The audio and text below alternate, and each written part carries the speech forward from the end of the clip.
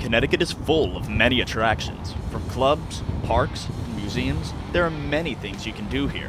However, out of all of these, none are quite like on-track karting in Wallingford. Looking to go fast? On-track karting fulfills a customer's need for speed. This track essentially brings a true racing experience to the average person. Boasting is one of the fastest indoor racetracks in the country. On-track serves as a spot for anyone to suit up and race. Co-owner Marty Tyrell says this track is much more than a destination. We get a great deal of satisfaction from running this business. The employees seem to love working here. The town loves having uh, an activity like this uh, here. The customers absolutely love it. It's something very unique. This track offers customers more than a ride with drive deals.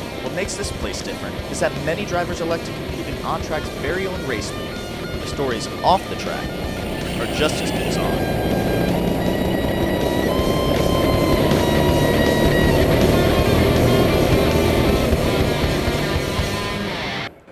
Meet Steven Eszenyi, who at the young age of 16 has already made a name for himself on the track. Last year, Steven competed in his first adult race league and immediately became a contender. Well, I led the points coming out of 13 of 14 races, and the last one, kind of everything went wrong. Steven entered the final race with a favorable points lead. However, early race struggles were too much for Steven to recover from. He wound up finishing 7th overall. Ultimately, he lost the championship by just one point. Losing by one point is kind of like losing a basketball game in double overtime on a buzzer beater, you know. After the loss, Steven found a way to forget what happened and was confident heading into the next season. Within weeks, Steven was back up front.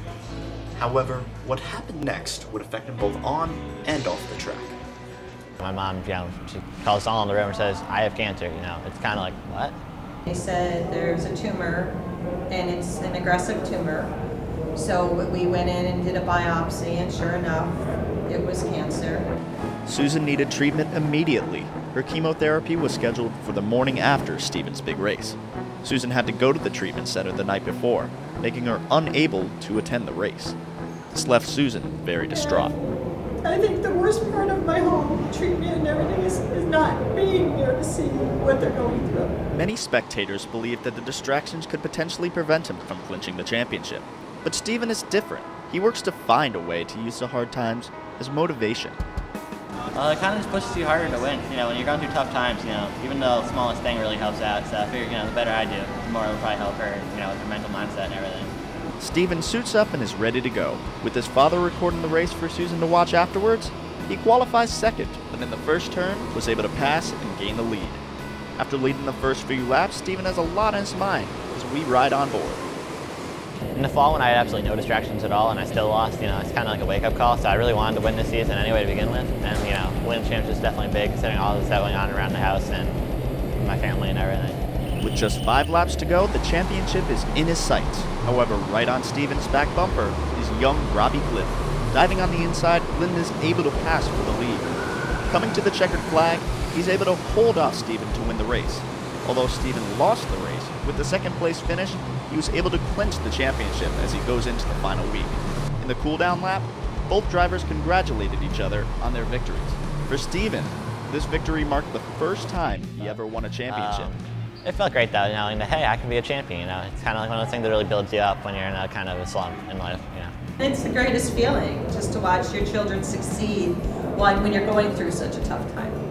The newly crowned champion has some new competition for years to come. It comes from an unusual suspect, his younger brother. Basically, he becomes an upgrade when he turns 12, and his birthday is the end of uh, March, which is coming up really close. Bob has been following Steven's footsteps, but now as an upgrade, he has the drive to go out and succeed.